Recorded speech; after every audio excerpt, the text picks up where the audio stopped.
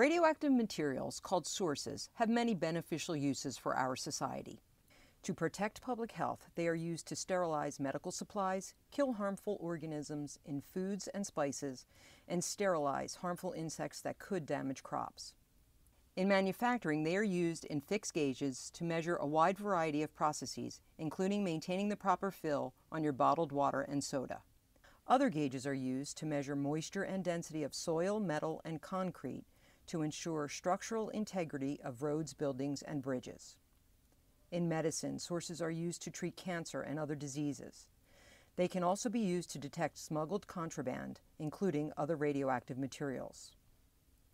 While radiation sources provide many benefits, they can be dangerous if not handled properly.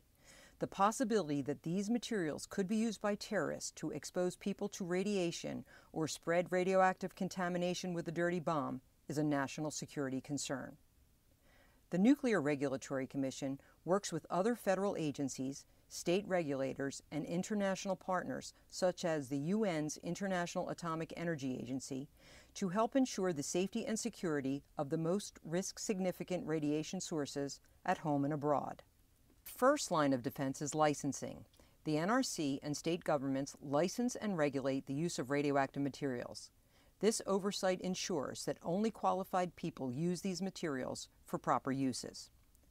Background checks confirm the trustworthiness and reliability of personnel granted access to the most risk sensitive sources. Three web based information platforms the Web based licensing system, the License Verification System, and the National Source Tracking System form an integrated source management portfolio.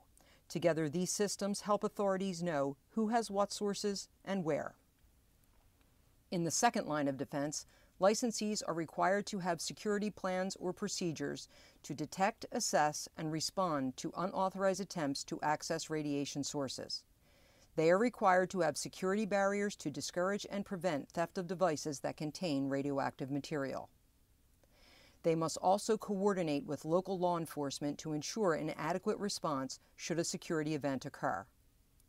Finally, the NRC cooperates with other federal agencies and state partners to identify potential security threats.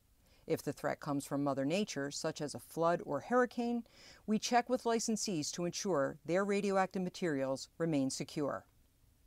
And when a large source is no longer used or needed, the NRC requires that the source be safely stored or disposed of.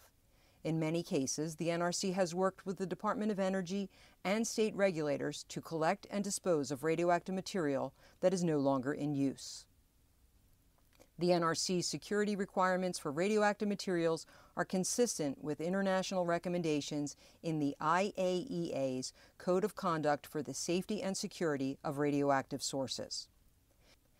We work internationally through the IAEA to help other countries improve their security programs and prevent theft of radioactive material overseas that could pose a threat to the United States because ensuring that our society can benefit from radioactive material safely and securely is a 24 7 responsibility and a worldwide mission.